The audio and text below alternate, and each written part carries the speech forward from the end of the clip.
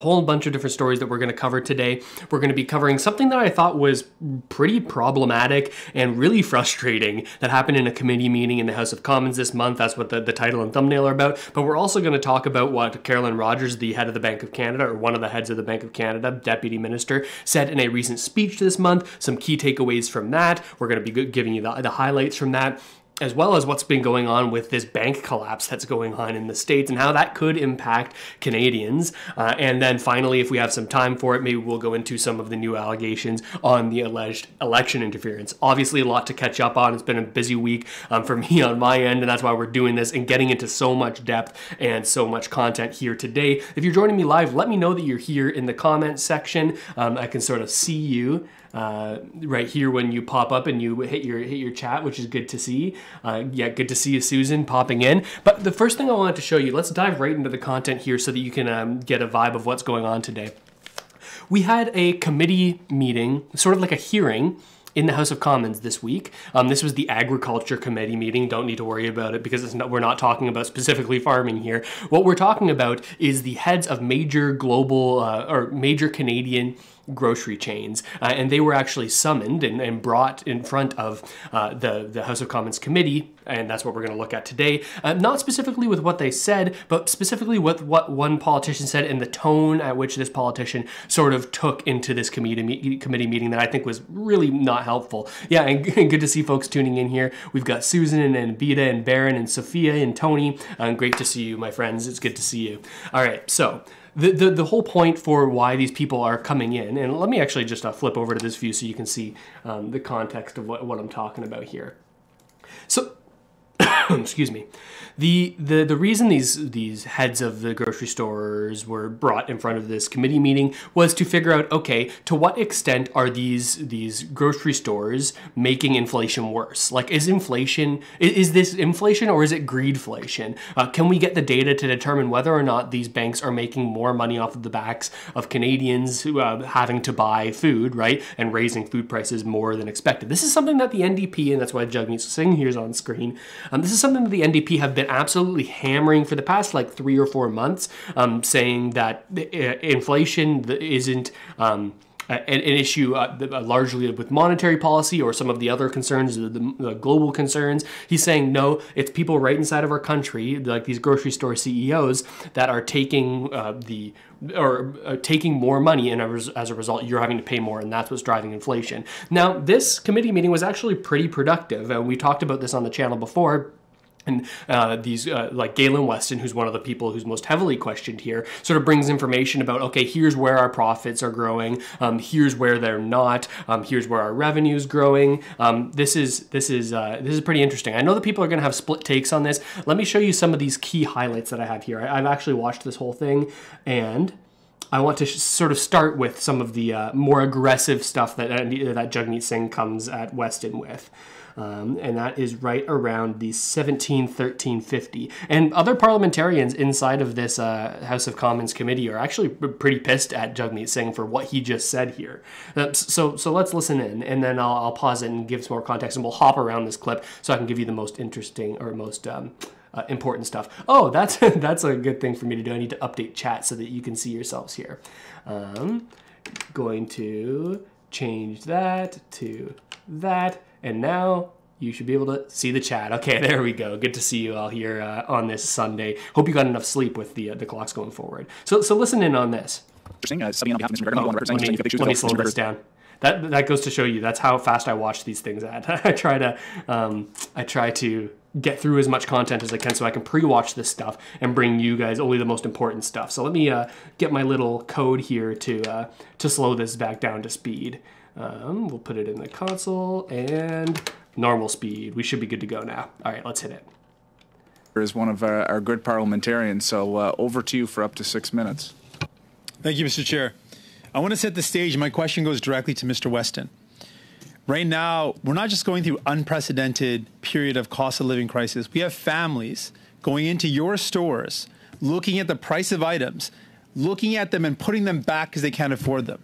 We have families that are struggling to buy food for their kids in this country, in a G7 country.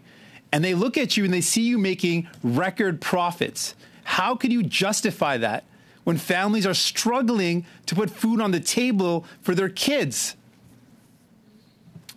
Thank you. Um, you know, we feel uh, and understand that. Um, 95% of Canadians are concerned about food prices. Um, but grocery chain profits um, are not the reason for food inflation. And as I mentioned, profit is too much profit. Well, so a company needs some degree of profit. Record um, you know, profits more than you've ever Mr. made. Singh, ever? I'm gonna, Mr. Singh, I'm going to stop you there. Of course, your time is your time and I can appreciate that. But we've invited, in fact, we've summoned these witnesses to come here. You ask a question, all, every member of this committee is expected to be able to hear the response. Certainly. And I need you to certainly be a little bit more mindful of making sure that is. I know it's your time, and I'll give you that discretion, but please don't cross lines here. So back to you. So Singh actually gets reprimanded here for, for the tone he takes against Weston. Um, this this is where it sort of gets a little bit um, a little bit interesting, right? Because uh, if and we're going to cl- hop around on this committee meeting so you can see different clips here, but this is an entirely different tone than the rest of the meeting had. Um, here we see Singh coming in and he's angry, he's mad at Weston, saying, "How dare you do this? How dare you make it so that Canadians have to pay more um, for their food? This is your fault. You're making so much profit." To which uh, Galen Weston says, "Well, actually, uh, we're we have to have a little bit of profit um, in order to actually make sure that our grocery stores stay open and that we can grow our business and expand to more chains. That profit doesn't go directly to to me as CEO. It, it goes into the running of this business, um, and, and, that's something that Singh sort of doesn't doesn't hear here. Like it, it baseline, the thing that I'm frustrated about is it seems that the, the, the lines of questioning that happened inside of this committee meeting, um, specifically from Jagmeet Singh, were not about getting to the getting to any solutions, getting to how we can solve this stuff. And I'll show you what what sort of questions actually were like that in a moment. But more about getting a social media clip that will make people who aren't following this as closely as we are think hey, that guy is standing up for me. I'm paying a lot for grocery prices, so that person is doing good for me, um, even if he's not sort of working towards a solution here, in my frame of view. And again, if you disagree with me, that's okay. Um, that, that that's kind of the point of this channel. But I'll show you some reasons that I sort of have started to think that way um, from some more clips in this committee meeting. How much profit is too much profit? You're making more money than you've ever made. How much profit is too much profit? We're a big company and the numbers are very large, uh, but it still translates right down to the bottom line at $1 per $25 of groceries. And if you consider our growth, growth in profit in 2022 is 25 times lower than the unprecedented increases in costs that are being faced by the industry and by the world. And the fact that we have lower food price inflation in Canada uh, than in so many other parts of the world world is in part due to the high functioning of our food system here and in part to the, to the meaningful sure. effort that is being made by the grocery store industry um, to keep prices as low as possible. With respect, Mr. Weston, you mentioned this $1 per grocery bit we can put a fact in front of you. Your company is making $1 million a day in excess profits. No one feels sorry for your profit margin when you're making a million dollars, not just in profit, in excess profit a day at the same time that Canadians are experiencing the most unprecedented inflation in their lives. How can you look a family in the eyes and tell them that that's okay? What you're doing is okay. I had a, a, conversation with a customer in a store just the other day. Um, she came to me and she said something similar. She said, How can you have such exorbitant profits? And I sat down, I didn't sit down with her, but we chatted uh, for about 15 minutes and I explained, um, you know, what I'm explaining here to the committee. And she, she understood. Um, and she said, she said, Okay, I didn't realize that. That's not the way it's being characterized, um, you know, when I read the Globe and Mail or whether I re- when I read the Toronto Star. And I, and I said, Yeah. I, I said, Look, I, all I can tell you um, is that these this is the truth. This is what, what's going on. And if we invested, uh, if we didn't raise retail prices as costs went up, um, we would the companies that we operate um, would disappear um, almost uh, almost instantly, um, and that's why this point about low profit margins is so important. hundred percent of the total profit of the industry could go into lower food prices, and the price of a grocery basket for that customer who I spoke to would own, would still be twenty four dollars. And that's not to say that? it's not important, but it, it but our our ability to to affect this change is limited. That's why we need all to How do you square together. that? How do you square what you're saying with the fact that you're you're experiencing unprecedented profits while people are struggling? How do you square that with the record bonuses that you and, and your colleagues are receiving? How do you square that with the excess profits that you're making per day? How do you square that with the record profits you're making year over year? How do you square that? It doesn't add up. Mr. Weston, people, I've got 2,000, more than 2,000 people who submitted questions saying we are struggling while you're making these record profits. That explanation does not give any solace to the people that I've heard from. Okay, so this is where thing where I think it gets rather interesting, right? Like because we have Singh here who's asking legitimate questions like people are seeing profits are up with with the Loblaws and all of the companies sort of underneath all the brands underneath Loblaws. The profits are up, but also grocery prices are up. So why why are you doing this to to Canadians? Why are you making groceries more expensive? Um, your profits are up. At what point is it too much profit? Um, Singh here makes some good points that I think are going to resonate with a lot of people, but I think that he's deliberately ignoring other information that other people in this committee have heard and are now taking into consideration.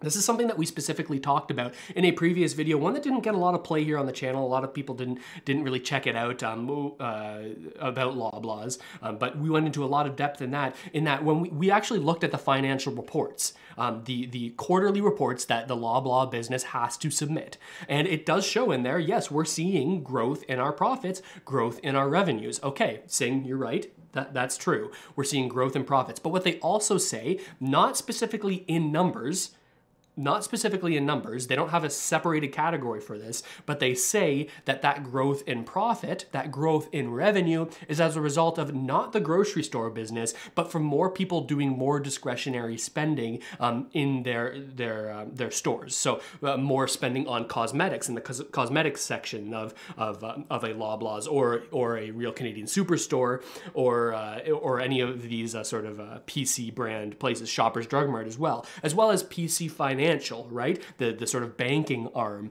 of Loblaw. So what the Loblaw financial statements are saying is that yes, we, our profit has grown. They show that in a big lump in terms of the numbers, but what they don't show is the individual categories and how they grow. But they do say that we're not making more profit from our grocery stores. No, that's our least profitable area. Most of our growth and profit is from cosmetic spending as well as uh, the PC financial banking wing, uh, right? And that's something that Singh is sort of looking past here. Uh, we'll get to it in a moment, but a lot of parliamentarians in this committee are saying, okay, we've seen your financial statement, something that it seems like Singh isn't pointing his questions toward. Um, other parliamentarians are saying, okay, if we've seen your financial statements, we, we we don't get the level of clarity in those financial statements that we want to prove that what you're saying is true. We don't get broken down into your different brands and your different subsidiaries, which ones are profitable. We just see your lump number. So some parliamentarians are saying, hey, can you provide this extra information so we can double check and verify? We're going to get into clips that sort of show that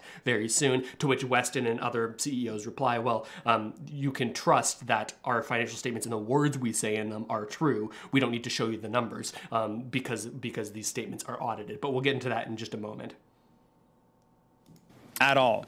Well, I, I understand how difficult it is for so many Canadians, and that's why we're taking decisive action within the constraints of what uh, you know we're actually able to influence. We stopped 500 million dollars of unjustified cost increases, um, you know, in our organization. We offer the lowest prices in the market in our discount stores like No Frills and Maxi. Uh, no Frills is recognized as having the most trusted prices in in the country. We ad match uh, in our large store formats on every single ad that is available in the market so the customers don't have to shop around from one store to another to make sure they get the best that- value. that doesn't we are fix actively problem. losing money on core commodities, um, you know, milk, vegetable oil, butter, uh, certain cheeses, um, and all kinds of items in every single every every day of the week. Yeah, I see. I see a comment in chat here that says Russell uh, keep simping for billionaires, saying that I'm sort of arguing for on the billionaires' behalf. I will agree that there are major problems in Canada with m- people who have too much control over individual industries. We look at telecom, we look at banking. Some folks will also look at the grocery store industry and say, okay, they have too much control. What I'm getting frustrated about is um, not not about that issue, but is about the way that Jagmeet Singh is asking these questions, trying to go for social media clips that, that will play well to people who aren't following the situation. We'll look at other parliamentarians that are actually saying, yes, there is a problem here. We agree with you. The grocers agree there's a problem. People are paying too much for food. That is the issue, right? That is the issue. People are paying too much for food. Singh is arguing another issue. He's saying grocery stores are are taking advantage of consumers by raising prices more than it is justified to do so and uh, taking advantage of them and making record profits at the same time. There, it's almost like there's two different debates going on here, right? And, and I would sort of say that the, the points that Singh are trying to make are very good if you're not paying close attention to, to the, what's going on here and what they're saying and what the other parliamentarians are saying right? I, I, hope that you can sort of see this distinction because I think there's a lot of problems with monopolies and, and um, centralization of power into specific industries in Canada. Uh, but that doesn't stop me from pointing out when a parliamentarian is sort of taking advantage of that perception and and, and sort of uh, giving points that don't make an, a whole lot of sense. Week. So we are working hard on behalf of Canadians. You've still not been able to answer this basic question. Then when a family that's struggling right now looks at your profit you know, how much profit is too much profit? How much is enough? Like you're making more than you've ever made ever, ever, and you're not you've not contradicted that point because we know it's true. How much profit is too much profit at a time like this when Canadians literally are saying that they are struggling? How much is too much then? Like for for you, is there no limit to how much profit you can make? That, that at the on the backs of Canadians that are struggling because they can't afford the groceries, there's no limit reasonable profitability is uh, is an important part of operating a successful business.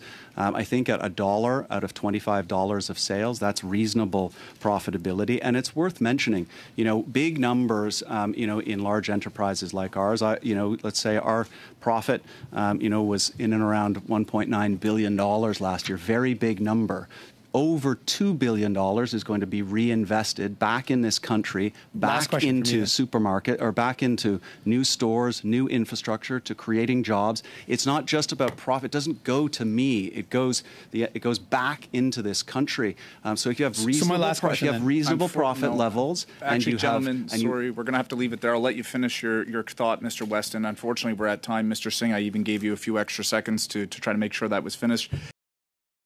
So, so let me show you what I'm talking about in the way that other people have handled this and how we get down to more of the root of the issue and how we can actually get to solutions rather than looking for social media clips. Remember, I called out this kind of like crap um, when I saw the conservatives doing it last week and when I saw the liberals doing it last week and made a video showing you this is what frustrates me in these committee meetings. This is where I think that there's a lack of functionality inside of some of these committees is when you're looking for social media points, when you're looking to just look good for voters rather than getting to the root of issues, right? That that's my point here. Let me show you this clip that I think gives a good contra- contrast. It's a little bit earlier in the uh, in the video, but we'll start it here. Um, this is where um, we get a, a pretty good answer.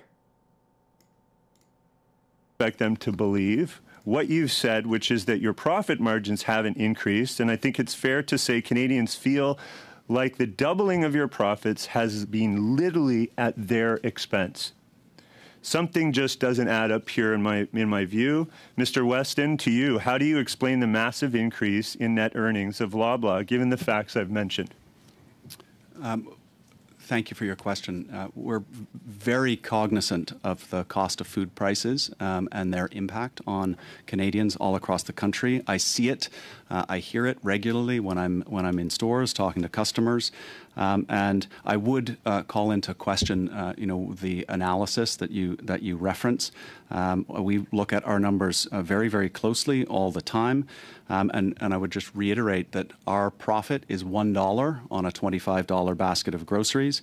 Um, and if we invested 100% of our profits into lower prices, the price of a grocery basket would still be $24. Okay. So as far as our profit, don't mean to cut you off, but I, I, so we have a difference of opinion, and perhaps we're looking at different numbers.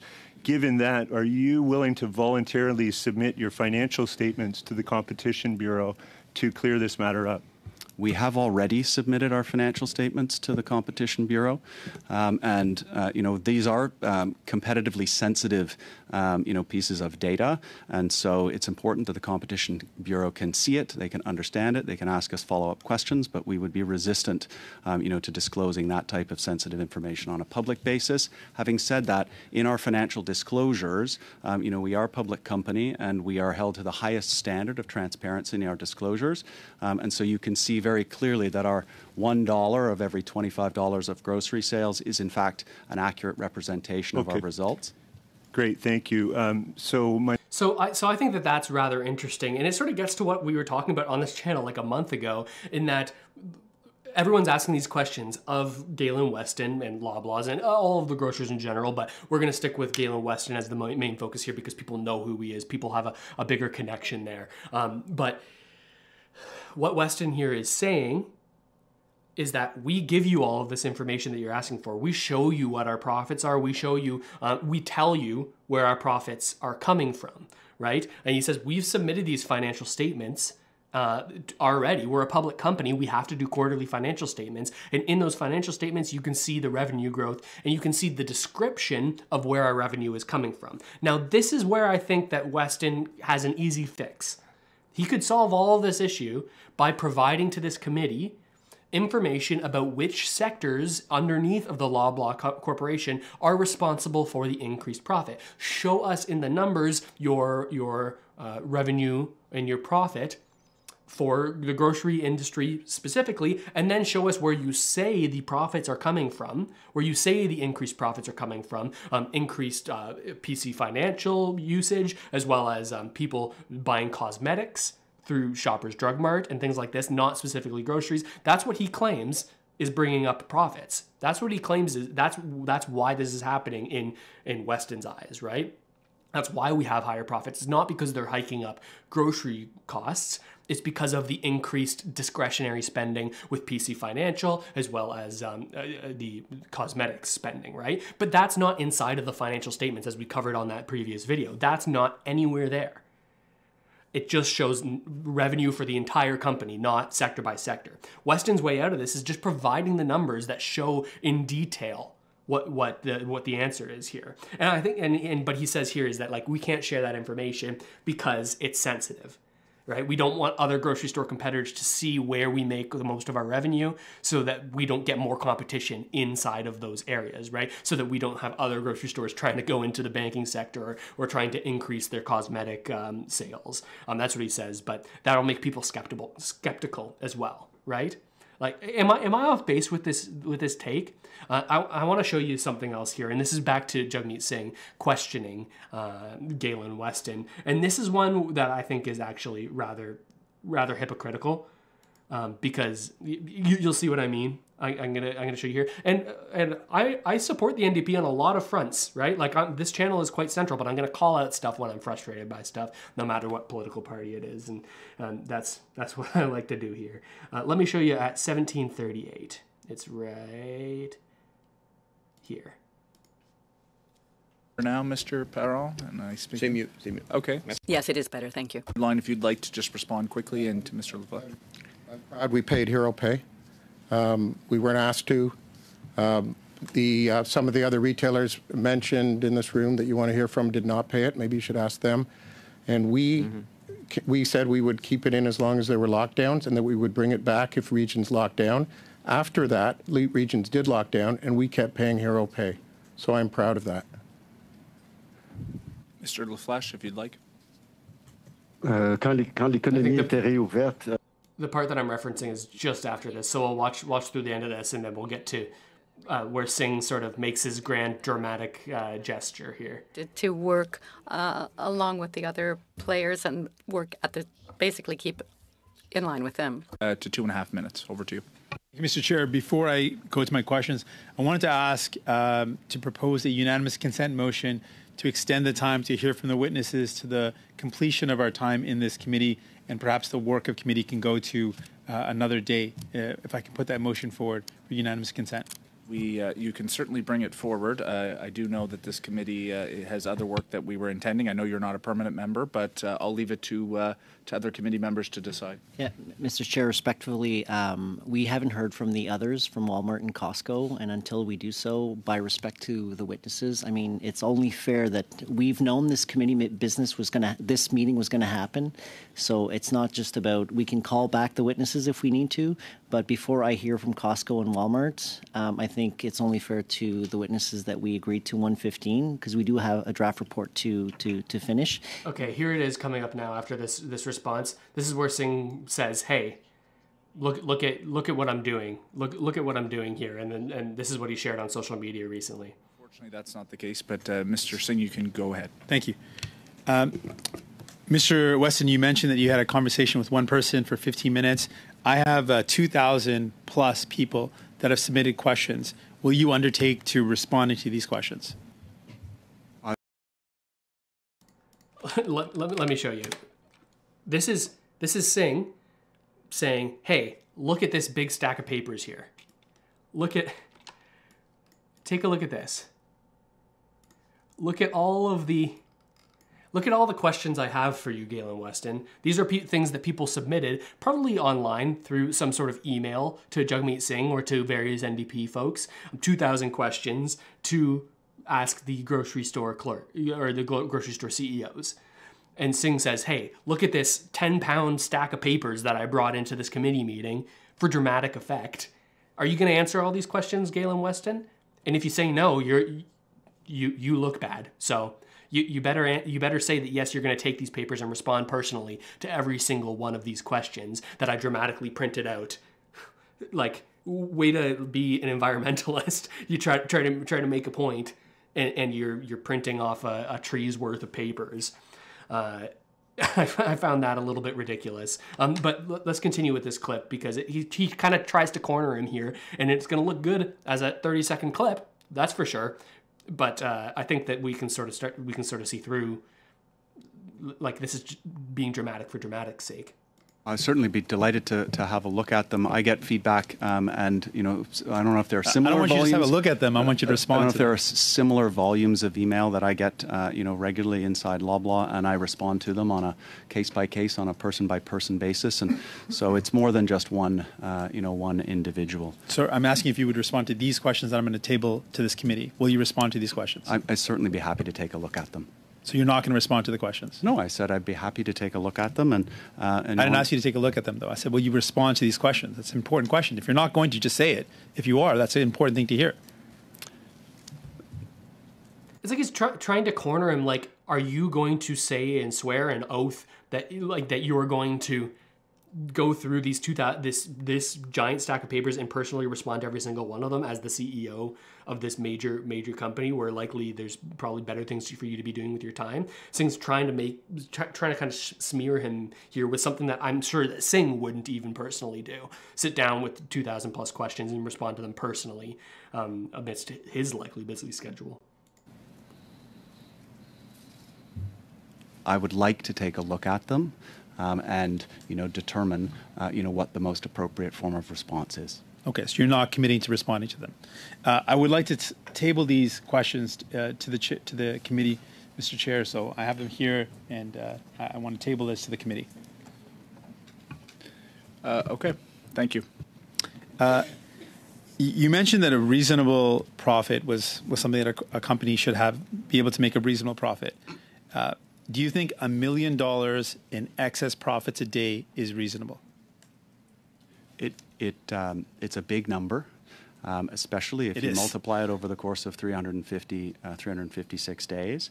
Um, but the the math is still the same. The math is that on the top on on a very very large sales base, um, that translates into um, a, I think it's a, a a 13 cents um, of that incremental profit represents about 13 cents on a $25 grocery basket. And I would just reiterate um, that the cost, like we're in unprecedented times, um, global food price inflation grew 25 times faster than profits.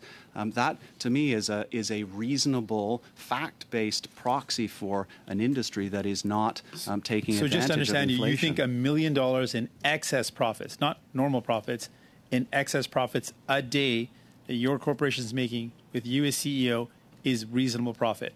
So he's he's asking a question of the, of Galen Weston here, letting him respond in detail, and then his follow up question has nothing to do with the response. It's more like, give me a yes or no on this thing that I can then use to say we are the only people standing up against the, these grocery store giants. The liberals aren't doing it, the conservatives aren't doing it. We, the NDP, are the people you should vote for because we're hammering these people hard. Like like, did you hear that question? It's like so, you, so let me be clear. You're saying that a million dollars of excess profits a day is accept an acceptable amount of profits for your store to be making. First, what are excess profits? I believe that Singh is using this definition as um, as profits today versus the profits that they were making prior to the pandemic. I, I believe that that's the number that he's using here is saying, okay, but compared to that, you're making this much more profit on a daily basis than you were back at the end of 2019. So that's what your excess profit is. Uh, he doesn't. He doesn't respond to the what what Weston says here to sort of get any kind of more nuance that could try to get to an actual solution, parse apart the information that he's saying so you can actually try to make grocery prices lower for Canadians. It's more about getting this clip that's going to look good for people that aren't paying attention to the response and people that aren't paying attention to the issue more broadly. That that's that's that's how it's coming across for me. I don't know if this is off base and not what you're what you're thinking, but that's that's why I'm getting frustrated here. I don't agree with your characterization of excess profits. Um, I'm giving you the facts. Well, it's not my character. This is a report from, from a professor. I disagree with the characterization of the report from the professor. We're going Um, to the leave it at facts that, are as I described. Uh, we're at time, and, and indeed, Mr. Singh, I, I was generous in giving you a few extra minutes, uh, a few extra seconds to finish that thought. Thank you, Mr. Weston. Thank you, Mr. Singh.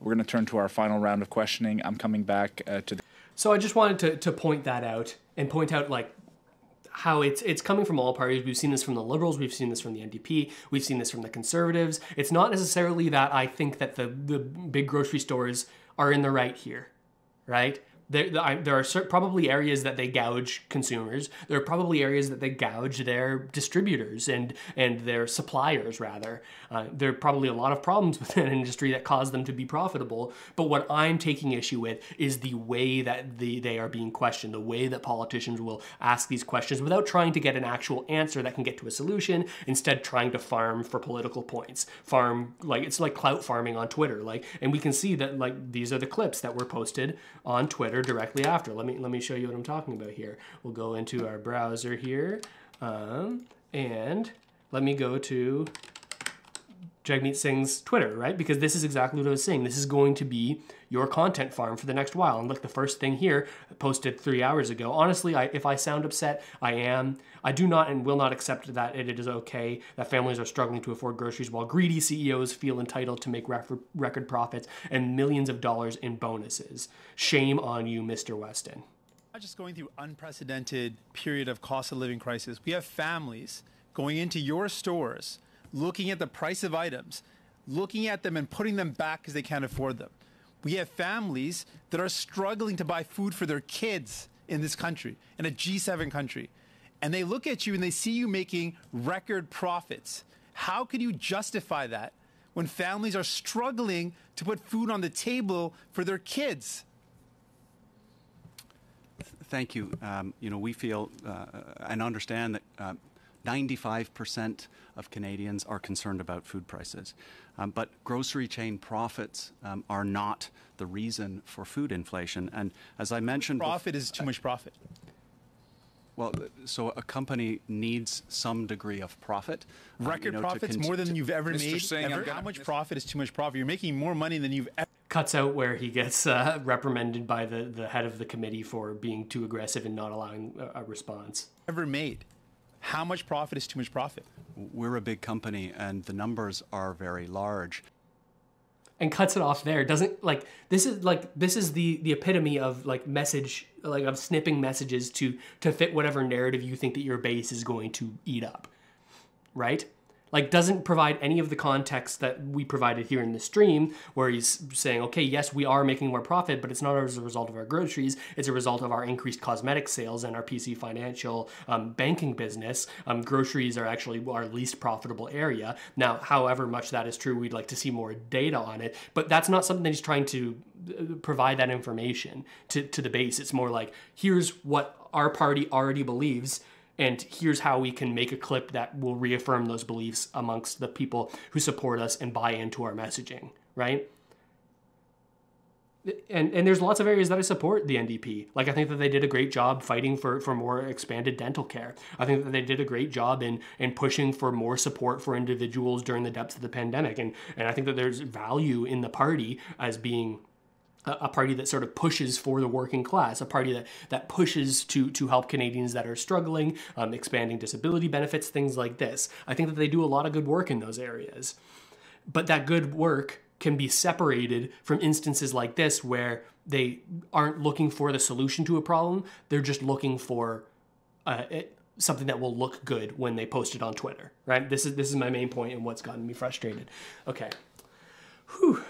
All right, now I want to sort of shift gears here and talk more about the, the Bank of Canada and what just happened this week. Because at the beginning of the week, we found out that they were going to pause interest rates and that they, for this interest rate decision, they were going to keep it at that 4.25% rate. However, we got a uh, an interview uh, and a speech from Carolyn Rogers, who is one of the high ups at the Bank of Canada, who is the the deputy uh, the deputy governor of the Bank of Canada, Carolyn Rogers. Um, the main governor is of course Tiff Macklem. We talk about him on the channel quite a lot. Carolyn Rogers, likely the one who's seen as the most likely to get the job after Tiff Macklem leaves it, although Tiff has only been in the job for two years or so now.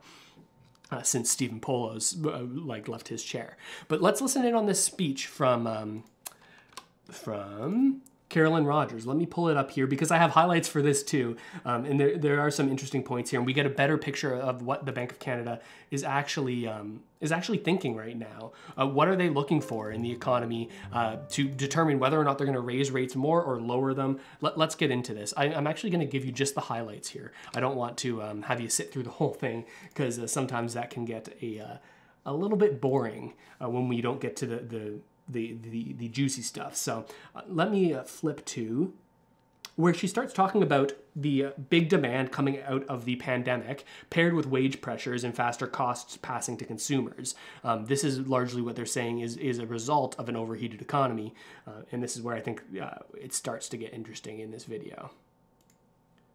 Which was an overheating economy here at home in Canada. Early last year, around this time, we were coming out of the Omicron wave of COVID 19 and what turned out to be the last lockdown. The Canadian economy had become increasingly resilient over the course of the pandemic, weathering each subsequent lockdown a little better than the previous. Canadians were anxious to cap- catch up on the things they missed, like traveling and eating out, and so we saw some of the spending that was going into goods start to shift back to services. And even though Canadian businesses had shown remarkable resilience, adapting to multiple lockdowns, many struggled to keep up with the sudden surge in demand they faced. Supply chain issues were still with us, and staff who had, been, who had left or been laid off during the pandemic had to be rehired, retrained, or replaced. Our survey of businesses in the first quarter of last year found that four in five we're having trouble meeting the unexpected boost in demand, a record high. This pressure showed up very clearly in the labor market. The number of vacant jobs rose to nearly twice pre pandemic levels, an obvious sign of wide, widespread labor shortages. Labor is an important input cost for businesses, particularly so in the services sector. So the shortage of available workers, combined with the surge in demand for services, put upward pressure on service prices.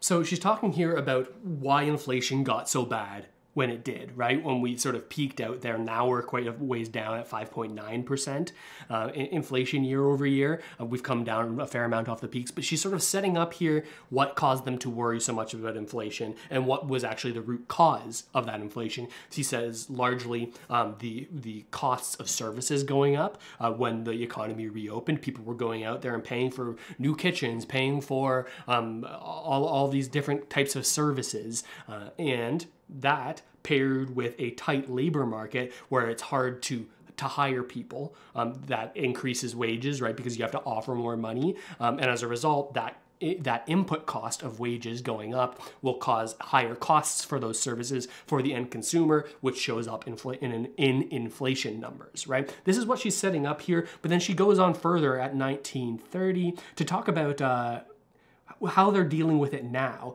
They largely she's saying we're doing a good job now with inflation. We think that it's it's coming down and we think we're doing a good job here. But she does talk about her fears as well. What what does the Bank of Canada fear happening that would cause them to change their current move, right? And both will need to retreat further to get us back down. Okay, let's has some symmetry earlier. so far. Global and domestic forces combined to drive inflation up and both will need to retreat further to get us back down to the 2% target. So, so far I've talked a lot about how Canada's experience had a good deal in common with other countries, but there are also important differences. So, let me spend a few minutes comparing where we're at on a few dimensions relative to some of our global counterparts. Our current rate of inflation, while still too high, I have to say that every time I mention inflation, is the second lowest in the G7 advanced economies. Japan is lower at 4%. And momentum in inflation, as measured by the rate of change in prices over three months, has also been close to the bottom of, G7, of the G7 countries. Importantly, uh, service prices in, in uh, service price inflation in Canada has leveled off in recent months, while it has continued to rise in some other countries. These rankings, of course, can move around a little in the coming, in the coming months, but they're all rankings where near, being near the bottom is a good thing. Let me now turn uh, to economic performance briefly. Canada has recorded the strongest growth in GDP in the, in the G7 since the tightening cycle began last year. And the International Monetary Fund expects Canada to have the strongest growth in the GDP uh, over the course of 2023 and 2024. That's good news, but it does underscore that our interest rate increases still need to work their way through the economy to ensure that demand cools enough for supply to catch up. Our employment growth has also been very strong compared with most of the G7. We've had the second strongest recovery in jobs and hours worked since the start of the pandemic. We've also had the fastest adult population growth fueled by immigration. And our labor force participation rate for women is at the top of the G7, helped in part by more affordable childcare.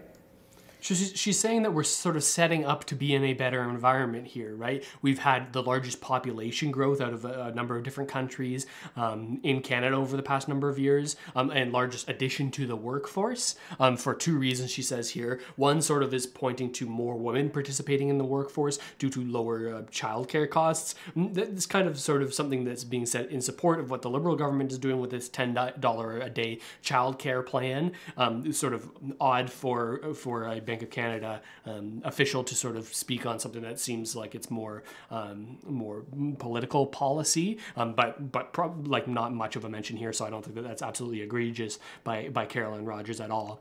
Um, and the second reason is saying, okay, yes, we've also set ourselves up to have lower inflation because of the addition to the workforce of more immigrants, more more people coming in, new Canadians coming into the country. That's certainly an important part of immigration, right? Is to sort of the fill fill job fill jobs that um, more Canadians won't fit into, right? We have a declining prop- population if we, if don't include immigration because of our lower birth rate. Now, of course, that lower birth rate is largely due to Canadians being pinched financially, not having enough to have as many kids. So maybe it's like a cart before the horse sort of thing. But immigration immigration, in the Bank of Canada's eyes at the very least, is a way that we can say, okay, we're not going to have as much inflation in the future because there won't be as high wage price pressures, right? More people eh, entering the country means more people to fill jobs, more people who need work more jobs filled, lower wage growth as a result because it's not as competitive of a labor market, not as tight of a labor market. So this is what she's setting up here. Um, but she does talk about what we could see if we continue to see wage increases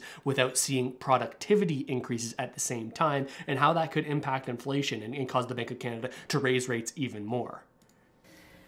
More supply of labor is a good thing because it usually means the economy can grow with less inflationary pressure. However, we continue to have one of the lowest rates of productivity in the G7.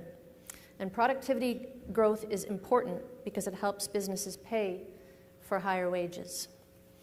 If we continue to see above average wage growth that we've been seeing in Canada without some pickup in productivity, it will be very difficult to get all the way back down to 2% inflation. Households in Canada are also some yeah, so that's so that's their current their current outlook. What they're saying, like, okay, could be could be challenging to get back down to two percent inflation um, if if certain things go wrong. And and this is what they've said is that they're going to be looking at an accumulation of data before they make their next interest rate policy decision um, in a couple of months now. Uh, and and this is what they talk about in this next clip um, at 24 minutes, talking about the mixed signals that we've gotten when looking at January's data, the most recent data that the Bank of Canada is able to look at at this point for, for most sort of indicators. They say, uh, here are the things that kind of shocked us. Here are the things that surprised us and what could cause us to change the way that we plan on doing things in the future. When we looked at the data since January, we found a bit of a mixed picture. Overall, things unfolded broadly in line with our outlook, but we will need to see more evidence to fully assess whether monetary policy is restricted enough to get us all the way back to the 2% target. Now, let me just unpack a few recent developments and share some insights into, into what we discussed and how we'll be thinking about monetary policy going forward. I'll start with economic activity. Growth in the fourth quarter of 2022 slowed a little more than expected, coming in flat with consumption, government spending, and net exports all increasing, the weaker than expected GDP was due largely to a slowdown in inventory investment. The data did show that in general, higher borrowing costs continue to weigh on sectors that are sensitive to interest rates, such as housing. They also showed that business investment has weakened as demand slows both in Canada and abroad. We also talked a lot about the labour market. Job gains in Canada have been surprisingly strong in recent months, and the labour market remains very tight. With weak economic growth for the next couple of quarters, we do expect the tightness in the labour market will ease, and as it does, pressure on wages should come down. You might remember me saying that if strong wage growth isn't accompanied with strong productivity growth, it will be difficult to get back to 2% inflation. Well, we noted the data last week show labor productivity in Canada fell for a third straight quarter, so productivity isn't trending in the right direction so far. We agreed inflation is coming down largely as expected, and there's been a clear momentum shift in goods prices. So, so let's break down exactly what they're saying there, right? They're saying we've gotten some mixed signals in our data. First of all, we saw growth in Q4 of 2022 slowed more than expected. We saw GDP actually uh, um, hit 0% growth over that quarter, uh, which is more than they expected right? So we're not seeing as much economic uh, activity, as much productivity happening in Canada in the fourth quarter. But that's not a bad thing in the Bank of Canada's eyes because they're saying, hey, we're raising interest rates so that businesses don't spend as much, businesses don't expand as, mu- as much, and uh, sort of side effect of that is GDP sort of stalling out. We talked about that in a recent video on the channel. Um, but they say that they're also seeing another good thing in their eyes: less business investment, um, less less uh, expansion of businesses, less investment in their inventory and in their infrastructure, and in, in expansion in terms of uh, how many jobs that they're creating. Right. This is something that slowed down as well. Again, traditional times, we want to see this growing. We want to see the the, the pie growing in Canada. Um, but in this situation where they're uh, acutely concerned concerned about inflation, well, it's a different story. They actually kind of want to see that number go down like they did. So those are two good things in the Bank of Canada's eyes that suggest they won't need to raise rates again in the future. Now, on the other hand, jobs remain tight. The labor market remains tight they're still seeing higher than average wage growth between 4 to 5% growth per year uh, and a, a large number of job vacancies. And they're specifically worried that this could cause more inflation because we're not seeing an increase of productivity while we're also seeing an increase in wage growth, right? And this is something that um, that uh, certain labor union leaders would point to the Bank of Canada and say, "Hey, you're blaming." The workers who haven't had price or wage increases um, that map out to inflation and the increased price of living, we haven't seen wage growth. And now that we're seeing wage growth, you're saying well, that's a bad thing for the economy because it would suggest that there could be more inflation. This is something that critics will point to the Bank of Canada and say you are waging war on the working class. Something that um, that I forget the individual union leader that kind of went on on the news and saying all that a few months ago. But th- this is the one one criticism of the Bank of Canada is that it seems like they're blaming um, wage growth for inflation. Another thing that they do blame though is businesses more readily passing on the costs of of uh, their increased costs to consumers because there is such high demand. They don't need to worry about people going to other businesses because there's such high demand that they can't satisfy it anyways with their staff and with their products. So they they'll pass on the increased costs, adding to inflation. But they're saying that that's starting to get back down to, to normal. So I thought that that was rather interesting from from what Carolyn Rogers said. Now there's also um, some points here on the the Bank of Canada's views on the U.S. dollar and the Canadian dollar. Uh, that's one thing that people have po- uh, pointed towards, saying, "Hey, like."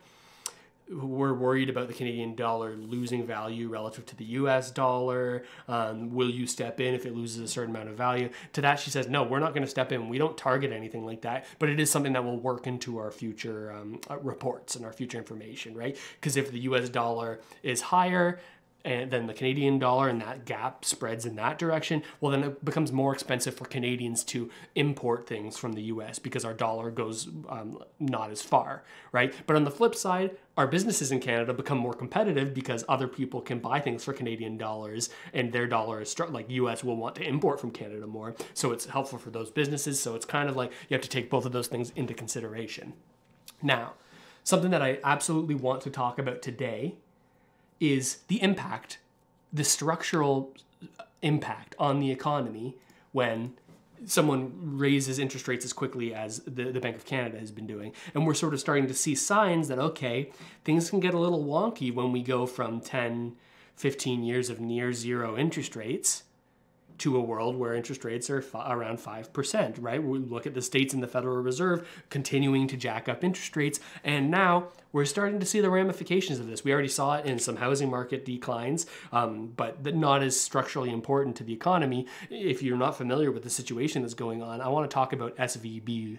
Um, that's Silicon Valley Bank, a bank that has just gone under, just absolutely collapsed in the past two days. FDIC, um, the Federal Deposit Insurance Corporation, I believe that's what the, the acronym is, had to step in and actually sort of custody this bank, take go into receivership, uh, or the, the bank went into receivership with them as the receiver, uh, dealing with this issue. Now, this is the impact of high interest rates uh, now when we had such low interest rates before. I don't know. Have you been following this story? Let me know in chat if you've been following this story and uh, how much detail should go into exactly what's happened.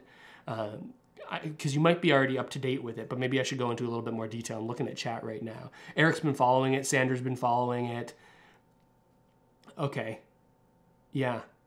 Yes, a lot of people, and some people are saying more banks to come. Yeah, Justin, yes, following it a little. Um, explain for them. Yeah, okay. So I'll give I'll give a brief explainer. Now, I don't have any more information than anyone else does with this, and I, have been sort of following this um, on the side. So I'll do my best to explain it for you. Um, maybe I'll open up um, Excalidraw, my little software here that I use to draw draw things for for explainer videos. Yeah. Okay. Beautiful. That works. So we have. Uh, that's way too big. I'm going to explain to you here what's happening with SVB Bank, right? We have SVB stands for Silicon Valley Bank. Now, if you don't already know, they have collapsed over the past while. Um, and there, it's largely due to the way that banks work, right? We have something in in North America and most most sort of developed countries in the world it, that is fractional reserve banking, right? Fractional reserve banking, which essentially means a bank doesn't need to keep as much money on hand, uh, specifically like in cash, as they have deposits, right? So let's say uh, I'll bring in, okay, like come on, uh, where let's exit Zen mode. Where are you, library? I want to bring in a, a little little person here. Okay, perfect. We'll bring in this little user. So let's say that we have all, like all of these five people all looking at SVB Bank and using SVB Bank, right? They're going to deposit their money and we'll just say there's five units of money here that people have deposited at SVB Bank. Now, SVB Bank doesn't have to keep five units of money in here. They'll probably just keep one of them, and then with the other four, they have to sort of use this money to make some sort of profit here by lending it out to other individuals or by holding um, debt instruments that will pay them interest, right? So SVB Bank took in a whole bunch of deposits from different companies and different individuals during the pandemic when interest rates were extremely low. And they said, hey, we have all of this money right now, but we can't just hold it on our books because we need to make a, at least a little bit of an interest rate return on it so that we can give a little bit of an interest rate to the, the people who are depositing here. So they went out and bought a whole bunch of, of bonds, right? Bonds that they were planning to hold until maturity. Um, so they said, okay, we're going to park our money in this 1.5% interest rate bond, and uh, and once it goes to maturity, we'll have all that money back, and it will be the money that we give back to individuals. And this is something that's kind of typical of what banks do, right? They're going to sort of lend out money um, in order to uh, sort of uh, become more profitable as a bank, and uh, and and they don't necessarily have to have all the money on hand, right? So that, that's the main point I'm making here. Now, this is how all banks operate for the most part is they don't have it's fractional reserve they don't have all the money on hand which means that if all of a sudden it's not just these five people but every single depositor that has ever ever been a part of this bank all of a sudden if they say hey i heard rumors that you're going under i want my money right now every single person says, Give me my money, give me my money, give me my money, give me my money, give me my money. They can't give the money to everybody, right? Because they don't have all of that cash on hand for every single depositor that has a deposit at SVB. So that's what happened here, and this is this is describes a bank run. You've heard of bank runs before. That's what happened here. It's a bank run. Um, so that, that's having big impacts here. And, and one of the, the big problems is right that they were because interest rates have gone up, their holdings in these bonds that they were previously sort of just holding there as representation of the, the deposits, making a little bit of interest. But because interest rates went up dramatically, bonds have an inverse relationship with the interest rates on those bonds. Um, so when essentially when interest rates go up, bond prices go down, the value of the bonds go down. Doesn't matter if you can hold the bonds to maturity because then you just get the amount that you you paid for the bond when it was created, right? But if you're forced to sell these bonds before maturity, well then you have to take the market price. Because central banks raised interest rates so dramatically, SVB when this bank run happened had to sell all of their bonds or, or a lot of their bonds that they were planning to hold until maturity, they had to sell those bonds uh, to to pay their depositors, right? And they had to take a big loss on that. And at that point, they didn't have enough money because they had to take such a large loss that they weren't expecting. Now it became clear we don't have all the money that we need to give you all your money. And that even stoked concerns further, amplifying the, the bank run. Now, this has a big impact on the on both the US economy, of course, like we, we've talked about that, but also it could have ramifications for the Canadian economy as well. Yeah, sim- similar to a Credit Suisse situation, Alex. Yeah, there are certainly similarities there that we're seeing. I hope this is making sense. Does anyone have any questions about what exactly happened here? Because I want to flip over to a couple of articles here that are talking about uh, SVB Bank in the context of Canada specifically.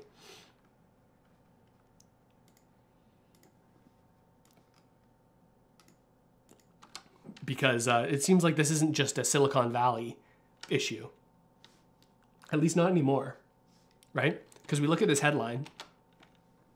SVB doubled its Canada loan book in the year before the collapse. Well, let me actually like outline the impact of what hap- what this means. SVB is largely not individual depositors like individual people, me and you. Some some some are that, but um, the the vast majority of their business is from startups, right? Startup technology startups um, that are in Silicon Valley, not just tech startups, but lots of tech startups, banked with SVB. Um, because they sort of uh, specialized in helping these types of businesses get loans and and um, sort of store their money. Uh, so a lot of these early stage startups are have all their funds sort of locked up in SVB, and it's likely that they're going to get a lot of that back. Um, the FDIC has sort of stepped in here and is sort of taking responsibility, but they don't know when they're going to get their funds back. This means that a lot of startups couldn't aren't going to be able to make payroll or may not be able to make payroll, um, and and many startups might not survive this. Uh, and the people are worried that this happening to SVB might shake people's confidence in other banks, other smaller banks, and have people sort of do the same sort of run on the bank that happened here with SVB, and that this could spread and become a, a, contagion. Now, we don't really know if that's what's going to happen here, if this is going to be sort of a mass 2008 type thing. I think likely not, given the additional regulations that have sort of been put in place both in US and, and in Canada. But that's what people are, are concerned about, um, especially given headlines like this. SVB doubled its loan book in Canada the year before its collapse. Um, okay, let's see if we can. Okay, I let me let me show you this trick on how I get past um, the, the the ad blocks on these news sites. I'm gonna copy the uh, the title, paste it into uh, Google, and then we find we find the individual article. Yep, right here, and we can actually go on these three little dots here and click cached and Google has a cached version of the of the whole story that's not actually on the web page, but it's just like Google's version of it that they've stored, and we can read the whole thing.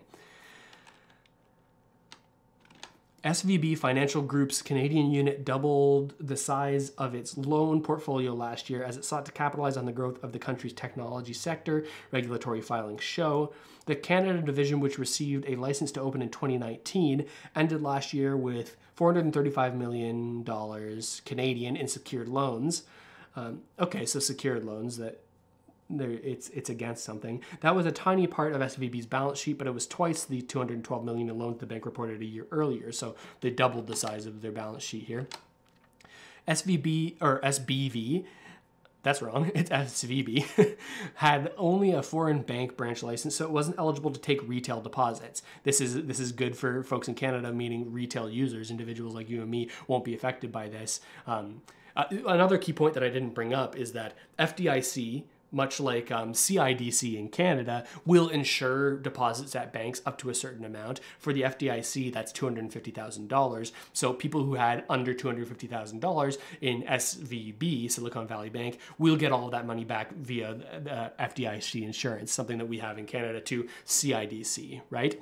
Uh, but the, the issue here is that it's not mostly retail users here that are that are affected by this. It's largely businesses, right? With a that might have a very high burden burn rate, a very high, um, uh, very high costs, a very high payroll, um, such that they don't only have two hundred fifty thousand dollars in the bank. Um, they could have far more than that. And in fact, ninety, I think it was around ninety-five percent of all deposits in a Silicon Valley bank would not be FDIC insured. So most people were holding more than $250,000 in these accounts, and that's the maximum that they're insured in the case of a, a bank meltdown like this. Canadian customers included e-commerce software provider Shopify. Oh, let's see what Luke uh, Tobias Luke, the CEO, says about this. And pharmaceutical company HLS Therapeutics, according to a previous statement by the bank, they provided us debt financing early, and as we grow, uh, or as we grew, the co-founder of the, of credit score uh, Borrowell from Canada said on Twitter on Friday, shortly before Silicon Valley Bank collapsed in the biggest U.S. bank failure since 2008. Yeah, this is the biggest bank collapse since the uh, the Great Financial Crisis of 2008.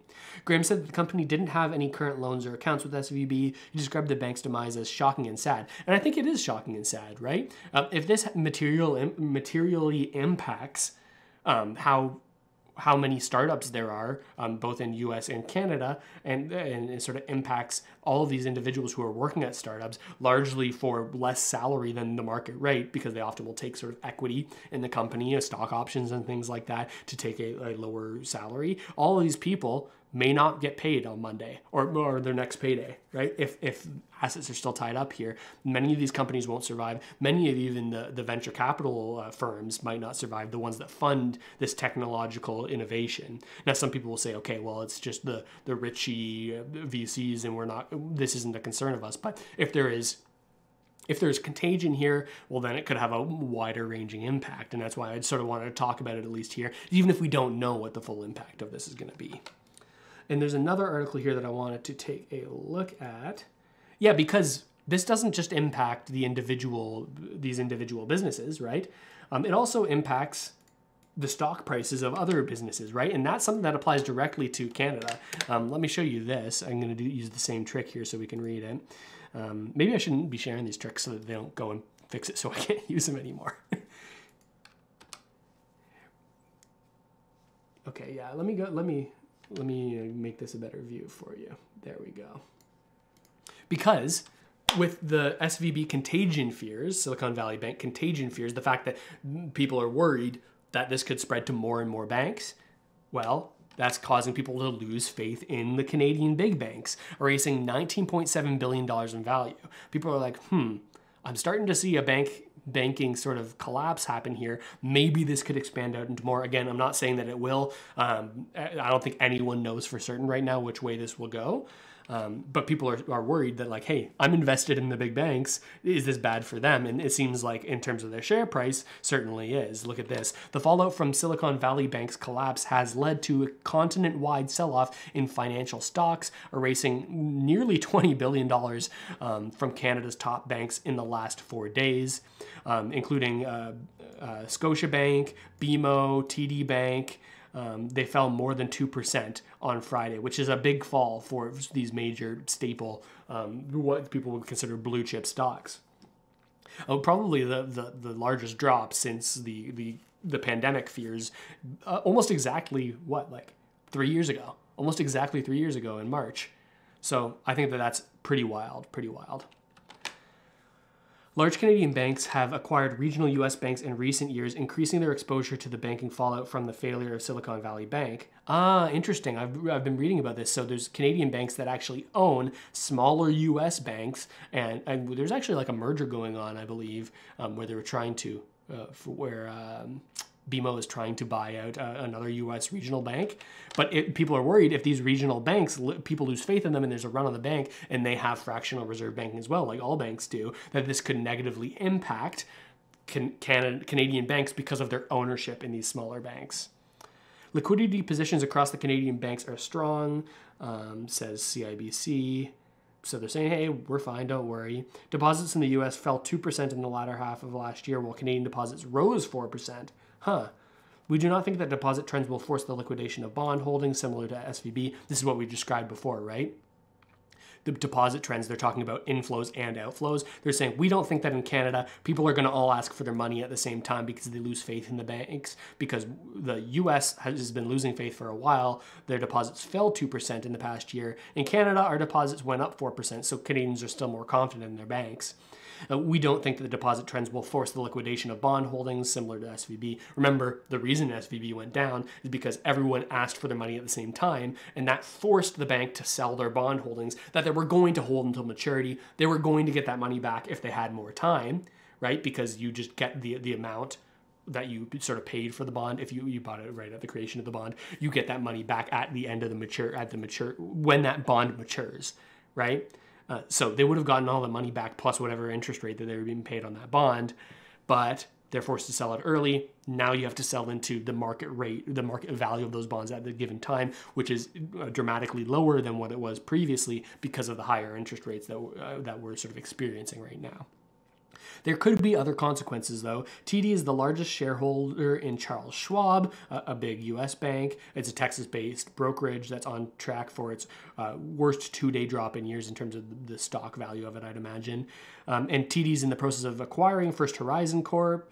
Um, another U.S. bank, and risk premiums in, for U.S. regional banks have increased materially, he said. First Horizon shares fell as much as 6.7% Friday. So I, I don't know what you think about this. Is this something that you're that you're worried about? Do you think that the contagion could spread and it could have a lar- larger ranging impact? I know that a lot of people in the states and this is sort of a, an industry that i'm involved with like in the work that i that i do on top of the youtube channel i also work um, for doing coding and and management for for a couple different tech companies and and they're worried right now right it's because if you if you're managing your payroll through svb well, that, that's a big issue for one. But also, what is your exposure with other banks? Is this going to be contagious? Is this something that's going to happen at another bank? And if people start worrying about it, well, then the likelihood of that contagion happening actually goes up, right? Now, on top of this, also SVB was a big holder uh, or what uh, had a lot of USDCs.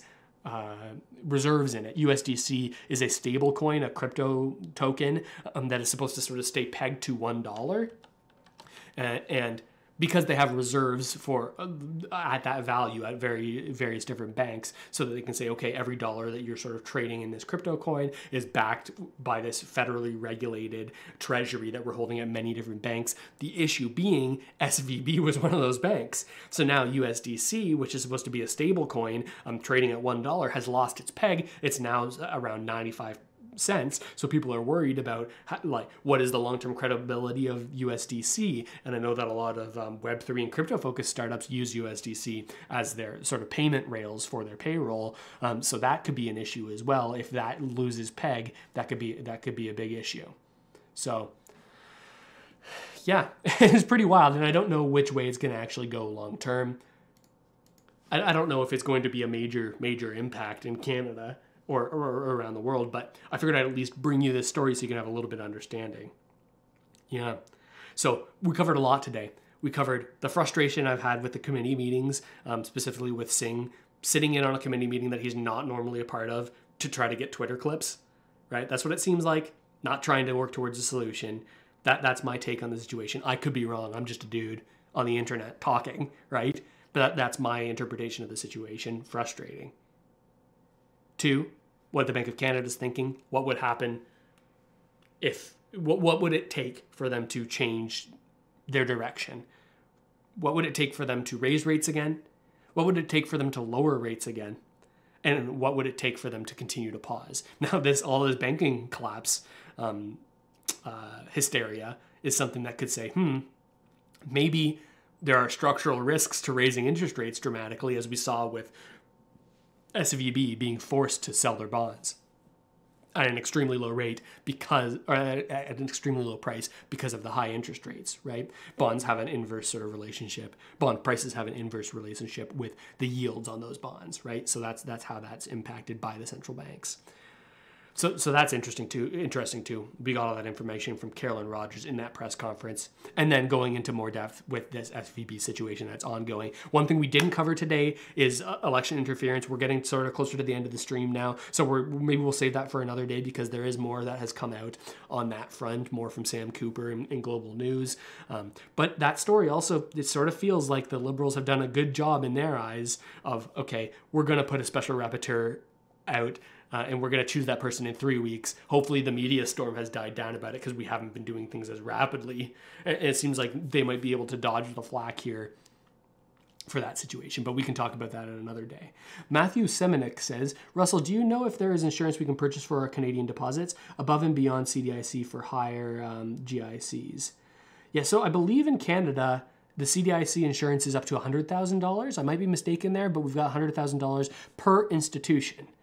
So this is not financial advice. This is just something to consider and look into and, and check out for yourself. But if you have more than $100,000 at one financial institution in Canada, it might be a wise decision to look into other institutions that you can hold that money at so that you're sort of doubly CIDC uh, insured, right?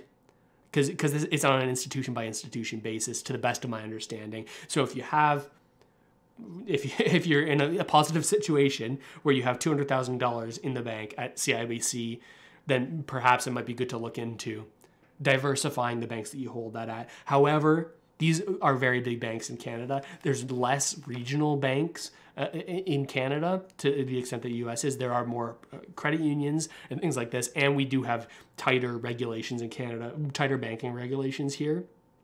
We've seen OSFI raising um, the the domestic stability buffer, requiring banks to have more cash on hand in case of a situation like this. So it seems that we're already taking steps in Canada to make sure something like this doesn't happen. But that's something I might look into. Is just how can we how can you get more CDIC insurance? I'm not sure how you can privately insure deposits above and beyond CDIC. I'm not not sure about that, Matthew. But good question though.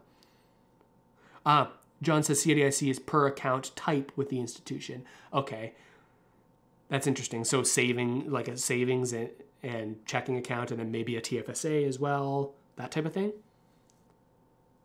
I, I need to look into that a little bit more, but definitely something to look into for the the, the, the lucky ones among us that are sitting with over hundred thousand dollars in, in in the bank, which I know most most Canadians aren't yeah, any any final questions here as we sort of wrap up the stream here? I appreciate everyone for for tuning in and for subscribing to the channel and liking it and, and hitting the notification bell so you can find out when I'm live next time. I appreciate you for doing that, uh, especially when you like and subscribe. It helps this channel uh, get more get seen by more people. And if you appreciate this kind of analysis, I, I appreciate the support on that front. But any final questions before we wrap this up? You can do at Russell Matthews in the chat, and I'll see it. It'll highlight for me in bright orange on my little chat screen here.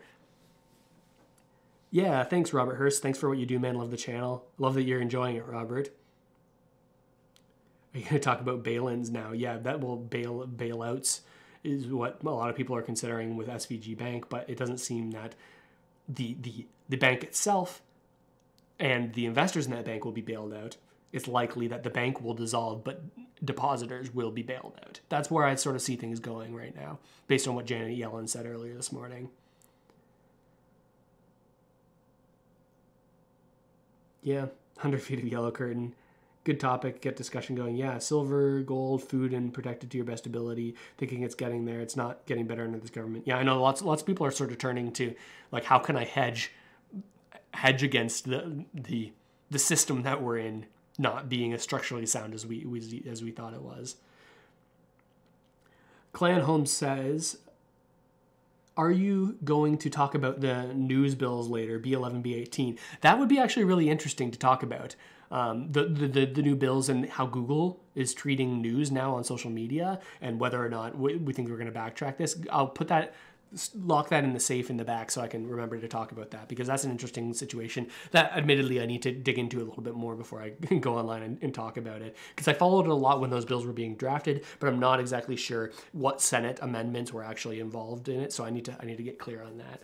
Sheldon Forbes says the Bank of Canada doesn't care about the purchasing power of Canadian dollar. Would you say it's the wrong move? Well, I mean, whether or not it's the wrong move for the Bank of Canada to not directly target an exchange rate for the, the Canadian dollar is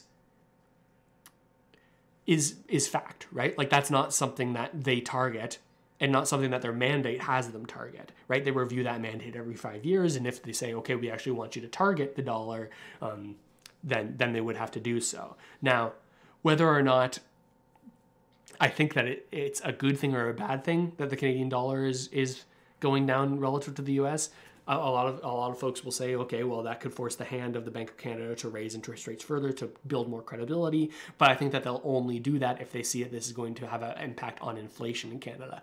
That is what they're worried about right now, not the exchange rate. It could be inflationary to have a lower Canadian dollar because it costs more for U.S. goods to be imported. But at the same time, the flip side of that is that maybe more businesses do well when they're sort of selling to other countries because the Canadian dollar is worth less than it was before, right? So the Bank of Canada said we're going to take all of these things into consideration, included in our next report, but we're not going to specifically target any kind of exchange rate here. Yeah, good, good question. And uh, Diogenes the Great, apologies if I, pronounced that wrong.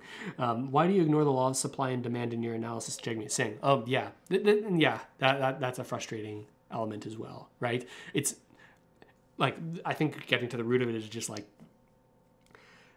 you can sort of tell when politicians are trying to get to a solution and when they're trying to create something that will look good to their base, right? And Pierre Poilievre does this a lot too, right? Like there's a lot of times where I think that like why are you sort of using a catchy slogan to to describe like taxes going up, right? Like, like it, it seems like it's sort of pandering to to a set group of individuals that will just not buy it or not look into the issues as deeply and we're only hearing that surface level sort of stuff.